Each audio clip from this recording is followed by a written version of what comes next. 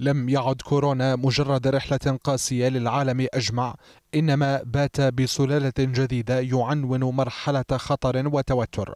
في العراق الذي يكتوي أهله موتا وفوضى ومعادلة صحية قاسية بات الحديث عن انتشار سريع يتميز به كورونا المتحور كابوسا جديدا يغرق العراقي في الخوف من مسألة الحياة أو الموت المعتاد عليها.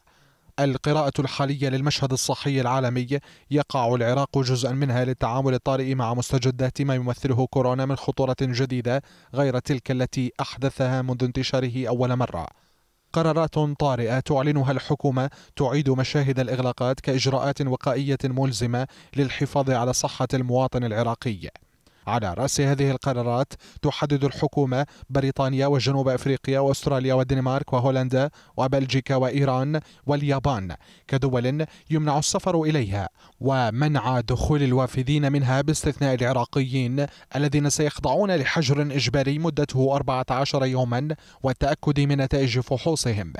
العودة لإلزام المواطن بارتداء الكمامة وتطبيق إجراءات التباعد الاجتماعي على نحو أكثر تجديدا عن سابقات التفشي. مستجدات تعلنها الحكومة على وجه السرعة كما كشفت عن تأمين وزارة المالية لتسريع توزيع اللقاح بكلفة مالية تصل نحو 20 مليون دولار.